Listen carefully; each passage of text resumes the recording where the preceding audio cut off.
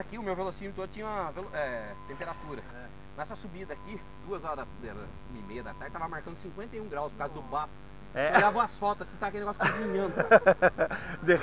Pô, eu fui chegar em casa, mas não está, eu estava lá, assim, mas mentira, mas não é que a gente fez o Big Sports, né?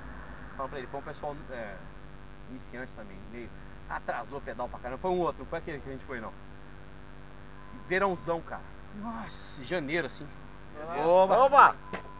Sei que moral da história, eu cheguei em casa desidratado, cara. Foi tomar banho, almoçar e deitar na sala e fiquei lá com febre, cara. Nossa. Meu, largado lá em casa. Você lembra aquela vez que eu cheguei lá, Gil?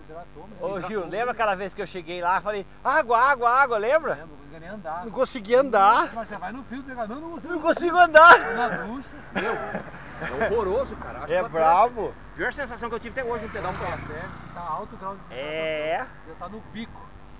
Falei pra você.